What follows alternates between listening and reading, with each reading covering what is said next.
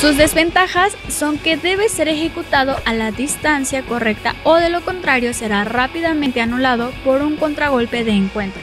Si bien es un golpe útil el cual adquiere una preponderancia en el entrenamiento. Su desarrollo requiere además de un trabajo de mecanización constante por medio del trabajo con paragolpes y sombras. También depende del trabajo físico y del desarrollo muscular de los deltoides, dorsales y oblicuos. Este grupo muscular es el que ejerce la fuerza y... ¡La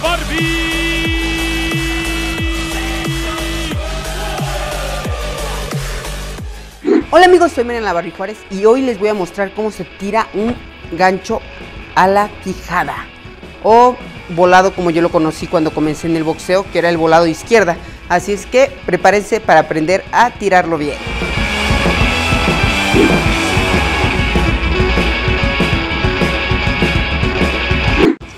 ¿A quién no le ha pasado que se pone eufórico por estar en un evento como estos? La piel se pone de gallina de tan solo ver a tu boxeador favorito.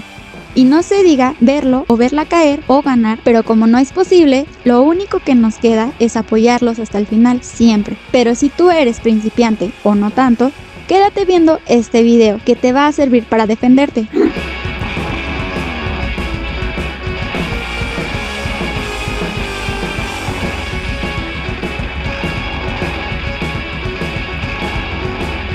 Golpe cross. El cross es un golpe curvo de trayectoria horizontal lanzado desde la derecha o izquierda según la posición e intención ofensiva. Entre sus ventajas cuenta su utilidad para atravesar una guardia muy cerrada, contragolpes, sobregolpes rectos y ser tu arma útil o a corta distancia.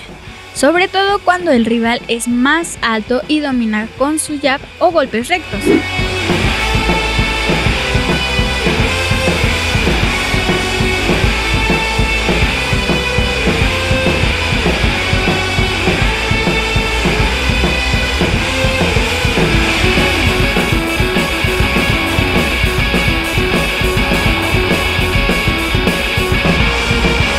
Sus desventajas son que debe ser ejecutado a la distancia correcta o de lo contrario será rápidamente anulado por un contragolpe de encuentro. Si bien es un golpe útil el cual adquiere una preponderancia en el entrenamiento. Su desarrollo requiere además de un trabajo de mecanización constante por medio del trabajo con paragolpes y sombras. También depende del trabajo físico y del desarrollo muscular de los deltoides, dorsales y oblicuos. Este grupo muscular es el que ejerce la fuerza y toque necesario para impactar con un cross devastador.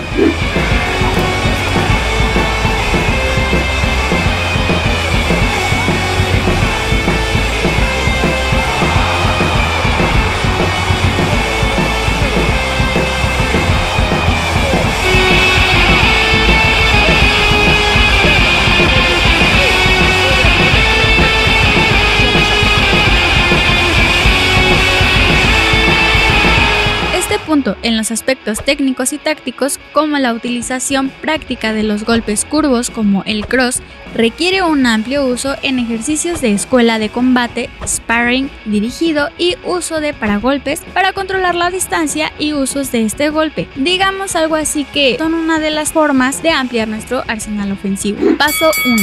Colócate en posición de combate. Asegúrate de que tus manos estén protegiendo tu mentón y los antebrazos protegiendo la cintura. Mete la cintura. Para ella, Finito.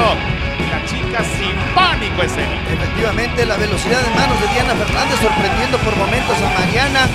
Ambas de negro, con la diferencia que el short de Mariana. Paso 2. Da un paso hacia adelante para acortar la distancia entre tu puño y el oponente. Pero ojo, que también sirve para apoyar el peso del golpe. Este paso puede ser tan corto o tan largo como lo desees. Al final, este juego de posición es para distraer a tu oponente. Para la oriunda de la capital izquierda, nueva cuenta el jab de Mariana La Barbie Juárez.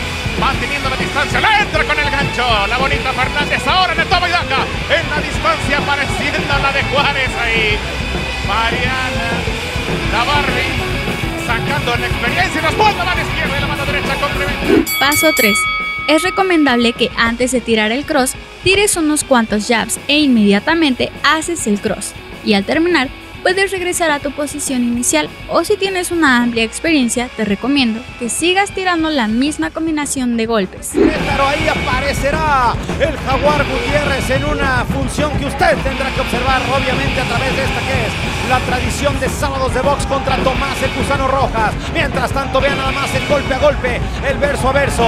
Diana la Bonita Fernández mostrándose rápida en este paralelogramo rectángulo equilátero. Decíamos que Mariana no ha perdido desde las nueve últimas veces que ha estado en este campo de batalla. Diana la Bonita lleva cuatro victorias consecutivas por algo.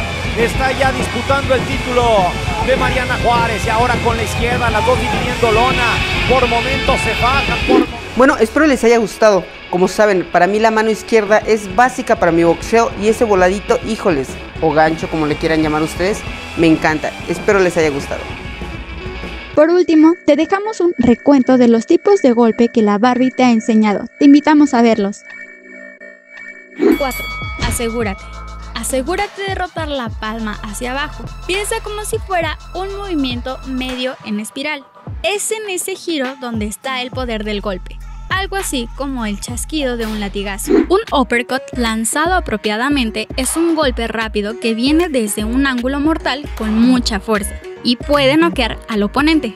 ¿Y quién mejor para representar esta técnica que un gran boxeador nacido en 1966 en Brooklyn, Nueva York? Mike Tyson es el claro ejemplo de fuerza, potencia y técnica de un genial uppercut. Sobre el golpe directo, de izquierda siempre a la inversa en zurdos, el pugil que lo ejecuta, o sea el boxeador, tiene que estar bien apoyado en el suelo y debe tener mayor impulso de la cadera, del hombro y del giro del cuerpo. Se utiliza para frenar, desestabilizar y golpear con dureza al rival que entra.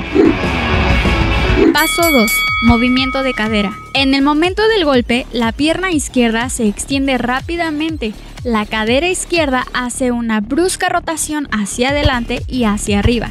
Simultáneamente, el tronco gira de izquierda a derecha, llevando hacia adelante el hombro izquierdo. Paso 3.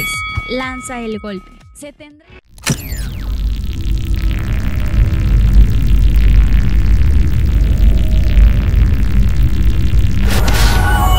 Morita Digital.